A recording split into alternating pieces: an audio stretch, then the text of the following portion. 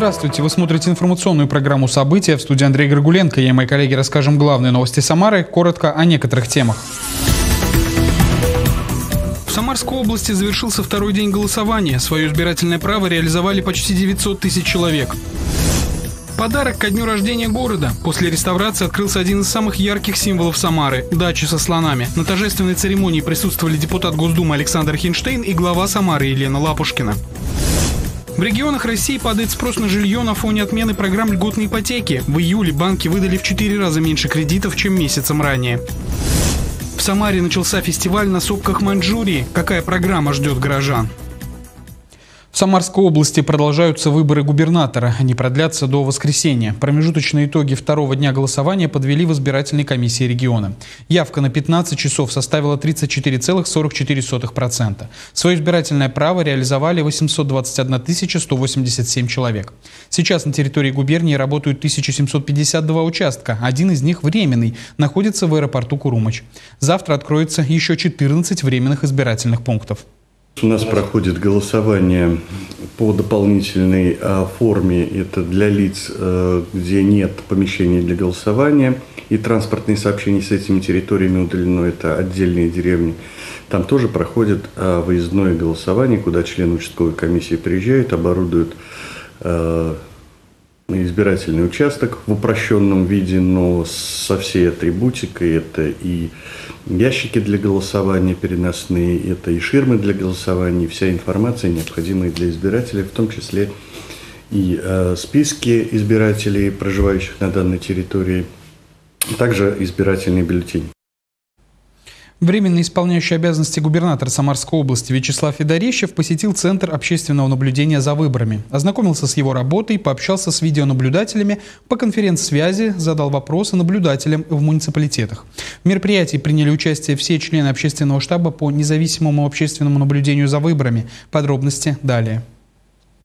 В Центре общественного наблюдения за выборами побывал в Рио губернатора Самарской области Вячеслав Федорищев. Его встретили члены общественного штаба по независимому наблюдению за выборами. Председатель штаба Вадим Чумак рассказал, как устроена работа Центра. У каждого вот на ноутбуке заведено 15 примерно до 20 избирательных участков, и не по определенному алгоритму их мониторят. В любой момент времени, если возникает необходимость, можно в зависимости от того, какой участок, попросить кого-то из них, и они выводят картинку, и можно внимательно посмотреть на этот участок. Какие были за сегодняшний инцидент? Что Вы знаете, сегодня, слава богу, и вчера вот сколько-нибудь значимых инцидентов, нарушений, конфликтов мы не зафиксировали. Третий курсник юридического института Самарского университета Акоп Нанаян второй год работает на выборах в роли видеонаблюдателя. Признается, его сюда привели гражданская позиция и профессиональный интерес. На участке достаточно все хорошо. Также параллельно выполняем отчетную форму, то есть а, проверяем наличие увеличенной формы протокола, то есть в целом помещение для голосования. Также наблюдаем за в целом, как граждане голосуют, и, как я считаю, прежде всего выполняют свой конституционный долг и как по мне, это прежде всего пример активной гражданской позиции любого нашего гражданина.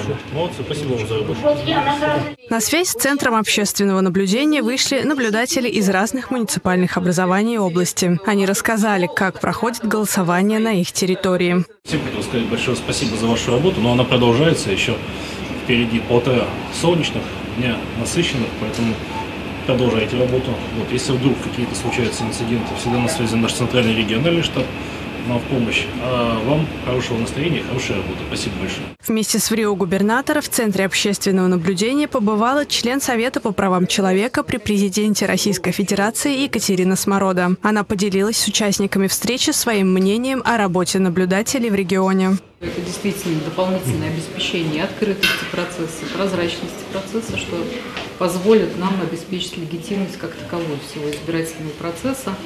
Я хочу сказать, что за полтора дня успела проехать избирательные участки и в Самаре, и в Волжском районе, и Новокуйбышевск посетили. Ни одной не услышала жалобы ни одной не услышала претензии, не услышала ни об одном серьезном каком бы то ни было нарушении. Центр общественного наблюдения продолжает свою работу. Здесь транслируют изображения со 175 избирательных участков области. В круглосуточном режиме видеонаблюдатели отслеживают обстановку на участках. Галина Топилина, Николай Сидоров. События.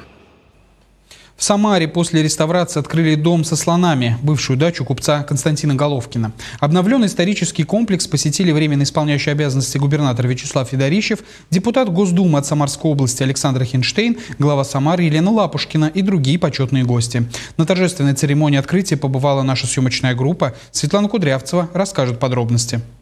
Уникальный памятник «Жемчужина модерна» – один из архитектурных символов Самары. В столице региона открыли после реставрации дом со слонами, бывшую дачу купца Константина Головкина. Здание появилось на берегу Волги в начале 20 века. В проектировании и строительстве участвовал сам Константин Головкин – художник, архитектор, просветитель, путешественник и меценат. В этом доме у него была лаборатория с мастерской, а из башни он любил наблюдать в телескоп за звездами. С начала 90-х годов прошлого века дом был заброшен. Реставрация началась началась в 2020 году по инициативе депутата Госдумы Александра Хинштейна. Сегодня здание является памятником архитектуры, объектом культурного наследия России. Дом со слонами снова открыл свои двери для жителей и гостей Самары. Я всех поздравляю с сегодняшним днем.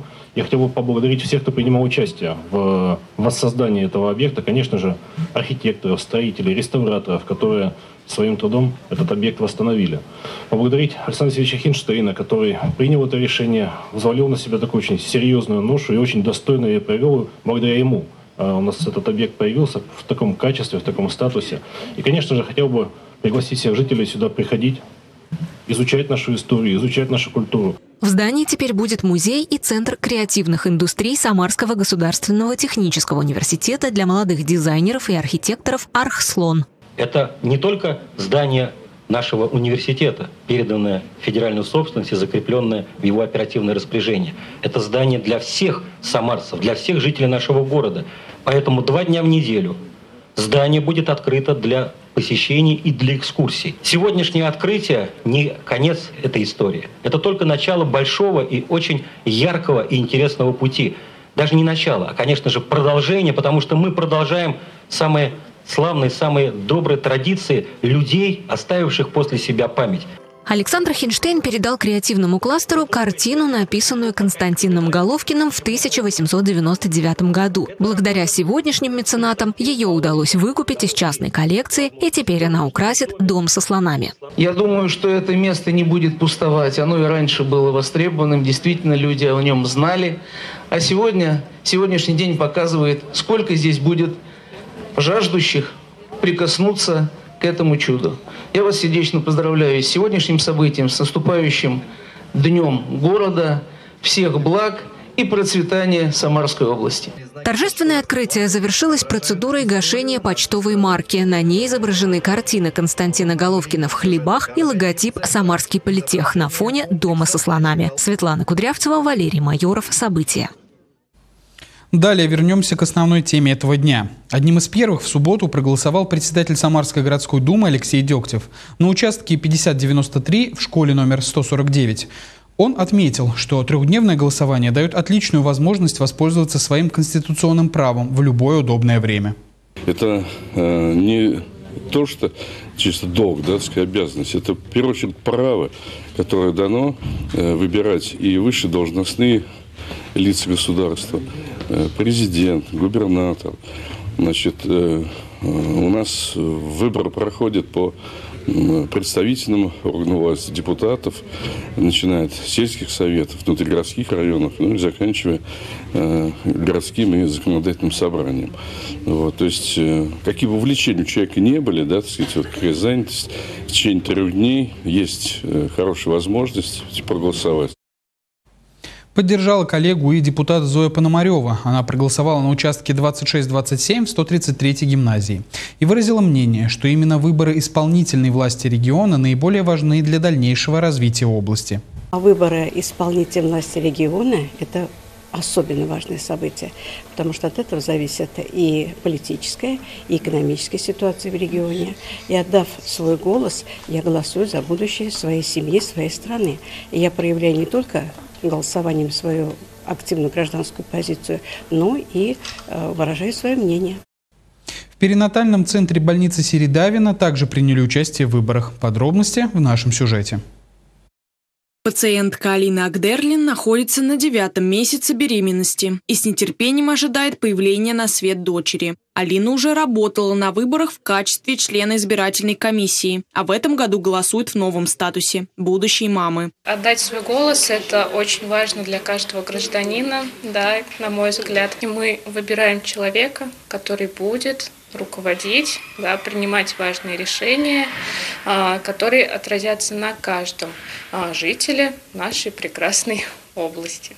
В этом году 51 пациентка перинатального центра приняла участие в голосовании. Некоторые успели проголосовать еще будучи в ожидании малышей, другие после родов. По санитарно-противоэпидемическим правилам а, наши пациентки как бы вот в таком месте находятся, что они не могут покидать а, свое место лечебное, и поэтому мы всегда приглашаем на места к нам голосовать. Нас всегда слышат, и нам идут навстречу. Нам всем это очень удобно. Пациенты главного корпуса больницы Середавина также могут принять участие в голосовании. Для лежачих больных организовали голосование в палатах. Августина Охременко, Николай Епифанов. События. Голосуют и те, кто находится в местах ограничения свободы. Содержащиеся под стражей в Самарском СИЗО номер один принимают участие в выборах. Как организован избирательный участок в следственном изоляторе и все ли права граждан, находящихся под стражей, соблюдаются, расскажет Полина Челюкова. Воспользоваться законным правом и выполнить гражданский долг. В Самаре совместно с руководством УФСИН России по Самарской области, прокуратурой региона и представителями общественной наблюдательной комиссии уполномоченной по правам человека в Самарской области Ольга Гольцова проверила помещение для голосования в следственном изоляторе номер один. Мы всегда очень ответственно и пристально э, наблюдаем и контролируем, как проходит реализация права избирать в следственных изоляторах. Очень внимательно следим за тем, чтобы у наших а, подследственных граждан, которые находятся в СИЗО, были все материалы необходимые, чтобы они понимали, что за выборы проходят и ознакомились с кандидатами. Сегодня никаких вопросов у нас не возникло. Сотрудники следственного изолятора действуют в соответствии с законодательством. В СИЗО выборы, так же как и везде, длятся три дня. На избирательном участке присутствуют и представители общественной наблюдательной комиссии. Свое право на голосование изъявили все содержащиеся под стражей, в том числе лица из других субъектов Российской Федерации, в которых проводятся выборы. Очень важно дать им возможность это право реализовать. Люди имеют возможность увидеть, за кого они голосуют, э, кандидатуры посмотреть. То есть это выбор уже людей осознанный, охотно голосуют, потому что все-таки у людей есть определенный уровень правосознания, несмотря на то, что они содержатся в следственном изоляторе. Это такие же граждане Российской Федерации. Особое внимание на выборах в следственном изоляторе уделяют гражданам, которые голосуют впервые. Им вручают сладкие презенты. Полина Чулюкова, Константин Головин. События. После закрытия избирательных участков бюллетени из урны для голосования члены УИК перемещают в сейф-пакеты, которые снабжены специальными техническими устройствами, препятствующими их бесконтрольному вскрыванию. Этот процесс документально оформляется актами избирательной комиссии. Вчера вечером, сегодня утром не было никаких проблем, связанных с хранением бюллетеней. Это хорошо, поскольку иногда такие проблемы случаются.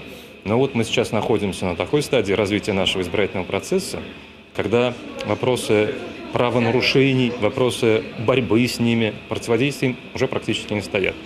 Уровень доверия достиг э, таких высот, что э, наблюдатели на избирательных участках, члены избирательных комиссий, представители кандидатов находятся в состоянии конструктивного сотрудничества. На всех участках организован процесс видеофиксации. 175 камер транслируют изображение в Центр общественного наблюдения, где специально обученные наблюдатели круглосуточно следят за соблюдением закона. Пока никаких нарушений зафиксировано не было. В Самару приехали родственники Алексея Толстого. Их визит связан с открытием памятника известному писателю. Они посетили музей, увидели уникальные экспонаты и послушали рассказ о том, как жил Алексей Толстой. Уеду я точно полный впечатлений.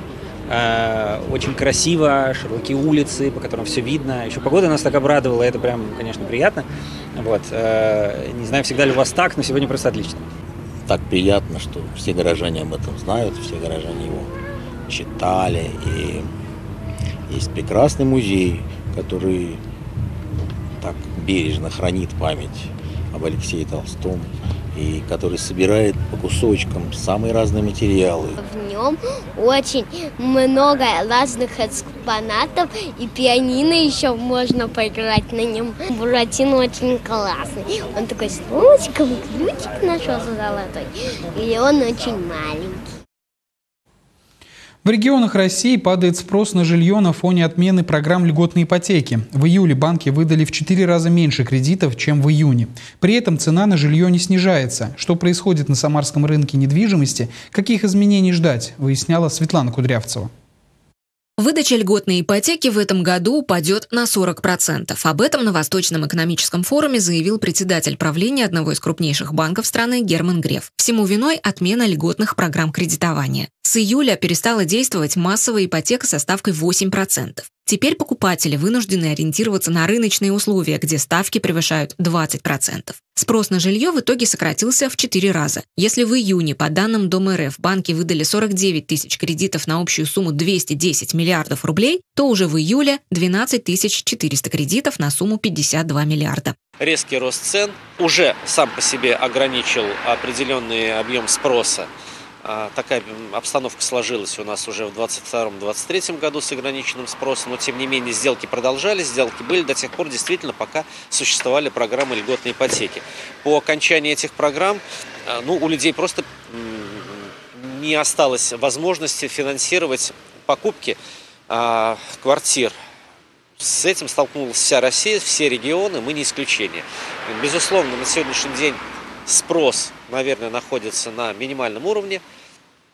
Предложение пока на рынке присутствует, потому что застройщики пользуются программами проектного финансирования, соответственно, нехватку а, средств а, в стройке им покрывают банки, а, соответственно, стройки не останавливаются, стройки идут. Безусловно, формируется некий задел на будущее. При этом цены на жилье, как того стоило бы ожидать, на фоне снижения спроса не падают. Вряд ли будет снижение и в будущем. Скорее всего, стоимость зафиксируется на достигнутом уровне. На сегодняшний день за ростом цен на недвижимость, конечно, произошел рост колоссальный цен на строительные материалы и услуги строительных организаций. Поэтому себестоимость строительства тоже выросла кратно. И на самом деле строителям двигаться некуда. Мы уже проходили через такие периоды э, неоднократно в новейшей истории России. И если судить по э, опыту прошлых периодов, как правило, это заканчивалось тем, что цены замерзали на какой-то период времени, рынок вставал там на полгода, год, полтора, даже два года стояли рынки у нас. Потом возобновлялась активность на рынке, но цены фиксировались как раз на той полочке, на том достигнутом уровне, на котором, собственно говоря, и замерзли. Эксперты уверены, что сегодня не то время, чтобы вкладываться в недвижимость или пытаться заработать на перепродаже квартир. На рынке сейчас доминируют только срочные продажи. Воспользоваться особыми условиями кредитования с господдержкой теперь могут только семьи с маленькими детьми, сотрудники IT-компаний и сельские жители. Все остальные покупатели пока в ожидании лучших условий. В Госдуме ранее сообщили, что сейчас разрабатывают четыре новые программы льготной ипотеки. Светлана Кудрявцева, Игорь Казановский. События. Чужих детей не бывает. В Самаре проходит форум приемных родителей. Семья – это вместе по-разному. Участники собрались в лагере «Волжский Артек». Для взрослых организаторы приготовили тренинги, а для самых маленьких – активные игры и творческие мастер-классы. Ксения Баканова продолжит тему. Павел и Ольга – счастливые родители. Вместе они воспитывают пятерых приемных детей. На семейный форум приехали впервые. Рассказывают, тревоги приемных родителей им понятны и знакомы. Однако супруги смогли преодолеть все трудности. Конечно, страх всегда. Это человеческий фактор. Никуда от этого не денешься. Но потом, когда приходишь и увидишь ребенка, вот когда последнего мы брали Пашу, естественно, мы пришли, он увидел нас. Мама, папа. Естественно, душа открылась. И все у нас в семье. Любовь. Будет общение с, также с родителями, какие-то конкурсы. Ну, ждем вообще всего самого хорошего. Место встречи – детский лагерь «Волжский Артек». О том, что чужих детей не бывает, здесь знает каждый. 40 семей, решившихся взять на себя ответственность в воспитании неродных детей, собрались на форуме приемных родителей. Семья – это вместе по-разному. Мама и папа приехали, чтобы пообщаться и поделиться опытом. Здесь присутствуют семьи, которые очень давно уже э, воспитывают детей. И приехали те семьи, которые только-только в этом году взяли ребенка. И для того, чтобы они получили максимальный опыт, а как это так, быть приемным родителем, как это так, отдавать свое тепло, душу ребенку, которого взяли. Как сделать так, чтобы адаптационный период ребенка прошел а, мягко и быстро. Вот для этого мы с ними здесь будем и заниматься, и психологи, и педагоги. Эксперты форума – это профессионалы своего дела, работники органов опеки и попечительства, фонда пенсионного и социального страхования, психологи и юристы. По словам специалистов, такие встречи помогают не только повысить уровень знаний родителей, но и найти ответы на сложные вопросы. Такие форумы обязательно должны проходить. Я считаю, что не только в Самаре, а, наверное, в каждом муниципалитете, потому что они объединяют семьи, объединяют специалистов, э, когда появляются общие интересы во благо семей, во благо детей, э, потому что семья – это основа государства. Форум оказался полезен не только родителям, но и детям. Для них организаторы приготовили насыщенную программу, активные игры и творческие мастер-классы. Бери кисточку. Да, вот так. И начинаем с фарточка. Сверху вниз. Держи, держи, матрешку.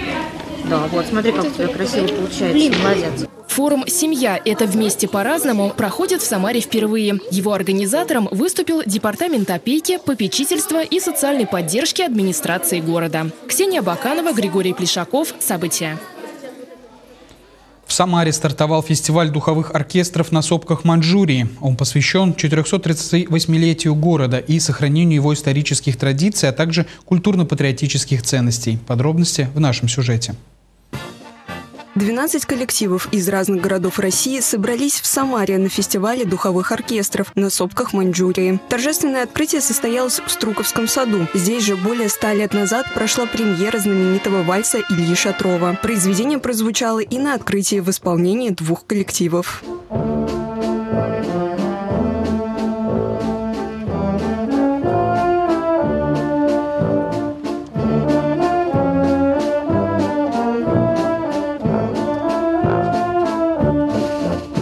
Дирижировал оркестрами Марк Коган. Для меня, да я думаю, и для многих, кто знает историю этого вальса, историю его написания, тот понимает, что главная особенность того, что это впервые в, в России к погибшим отнеслись не вот э, славу, почет объявили, а на самом деле такой тоски, которая заложена в этой музыке, никогда не было. И вот этот плач по убиенным, это он, он больше соответствует вообще русской, русской истории и русскому характеру. На открытии собрались и гости фестиваля. Евгений Петров, руководитель Нижегородского губернского оркестра, приезжает в Самару со своим коллективом в пятый раз. Я много бывал на фестивалях у нас в России, в мире.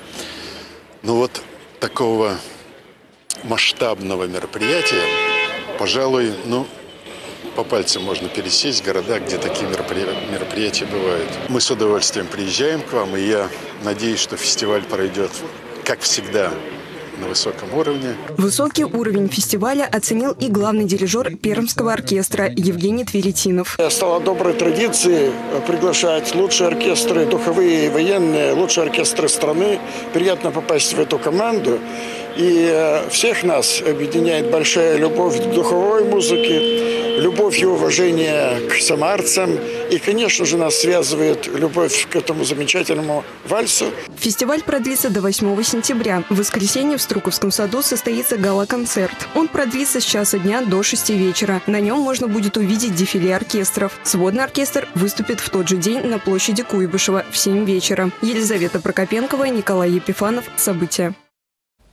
Далее вас ждет обзор телеграм-каналов городской администрации профильных ведомств. Вот о чем они писали сегодня на своих информационных площадках. Администрация Самары в телеграм-канале «Вести с Дворянской» предупреждает, что сегодня ночью возможны заморозки. Об этом сообщают синоптики. Объявлен оранжевый уровень опасности. Ночью по области в воздухе и на поверхности почвы ожидается от 0 до минус 2 градусов. При заморозках в ночное время возрастает вероятность возникновения пожара в жилье. МЧС России предупреждает, не эксплуатируйте самодельные электронагревательные приборы. Не ставьте электроприборы рядом с легко воспламеняющимися предметами. Не допускайте перегрузку электросети. Департамент опеки, попечительства и соцподдержки приглашает жителей региона пройти диспансеризацию. Ее основная цель – своевременное выявление хронических неинфекционных заболеваний и факторов риска их развития. Записаться на медосмотр можно дистанционно по телефону поликлиники или на портале госуслуги. Также руководители предприятий могут организовать диспансеризацию своих сотрудников по месту работы или в ближайшей к предприятию поликлинике. С этого года в диспансеризацию включено обследование для оценки репродуктивного здоровья. Пройти его могут мужчины и женщины в возрасте от 18 до 49 лет. Профилактической работе уделяется особое внимание в рамках реализации национальных проектов здравоохранения и демография. Администрация железнодорожного района составила список вещей, о которых нужно подумать перед выходом из дома, чтобы не переживать на совещании. А утюг-то я выключил. Уходя на работу, нужно сделать 10 вещей. Выключить свет и воду, проверить электроприборы и домашних питомцев, взять ключи, документы и деньги, закрыть окна, балкон и входную дверь. На этом выпуск подошел к концу. Продолжайте следить за новостями на официальном сайте Самара ГИС, в нашем телеграм-канале, на страницах в Одноклассниках и ВКонтакте. Выпуски программы смотрите на видеохостингах и в социальных сетях. Всего доброго, увидимся.